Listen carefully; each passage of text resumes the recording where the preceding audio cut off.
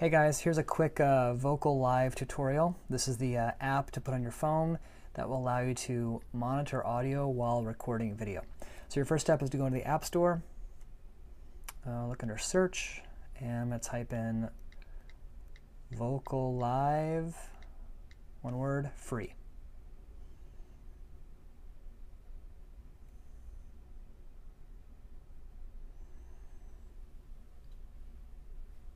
Loading, loading, loading, searching. Vocalive free. So I've already downloaded it, but that's what it looks like. It is Vocalive free. It's made by IK Multimedia. Uh, surprise, surprise, the same company that um, made the iRig mic and the iRig Lav. So I've already down you download it by pressing there. I already have it. Let's just get to it. There it is. So I open up Vocalive. It loads for a minute. Great. Allow Bluetooth, sure. So I want to record, so I'm going to go up to this mic right here. And then it gives me some options under source. So I'm going to go ahead and plug in the um, handheld iRig mic.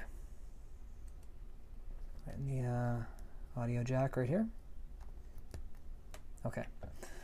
I'm going to brighten up the iris now that we're not on a white screen anymore. Okay. All right, so now we have this uh, the handheld mic plugged in. We can go here into the screen and select source, and it will make a nice cute little picture there. That is the iRig mic. I'll tap on that. So I've told it it's source. The next step is to go into settings.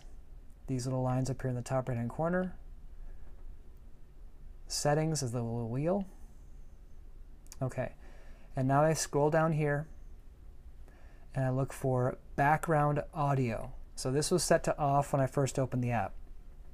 So you'll probably just change background audio right there. You want to change background audio to on. Then hit close. And then you hit the home button. You will see there is something on top of the screen. It is a red, a red band right there. And now it's pulsing vocalive. And that means this mic, the sound of this mic is now playing in the background. It's important to keep Vocalive open before you go to your camera app, which I'll now pull up. Great, and I turn the camera to the side, switch to video, and now I can record.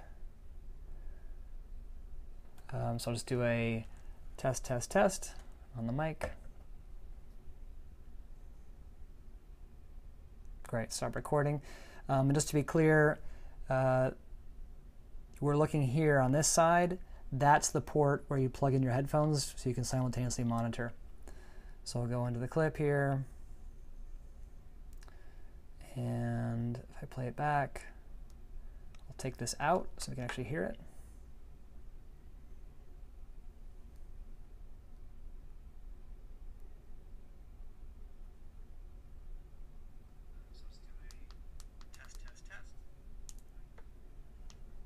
Yeah, you kind of missed it. I'll go back real quick.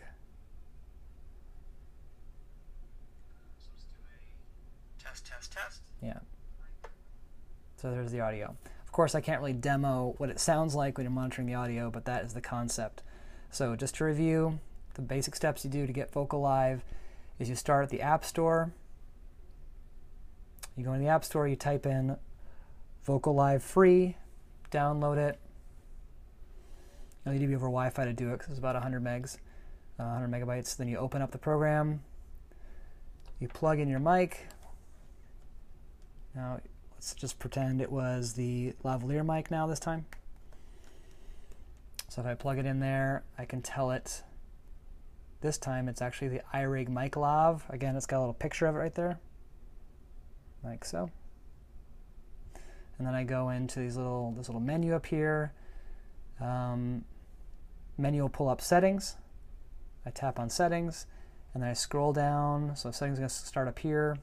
That's what's actually happening in the uh, headset jack. Scroll all the way down to background audio. It should be turned off. At this point, you want to turn it on the first time. And as you'll notice, it's actually saving my old setting, which is good. Sort of saves me some time. Uh, fun with the iris. Okay, that's it. Uh, you know, send me a, a, a, note or an email if this is confusing for you.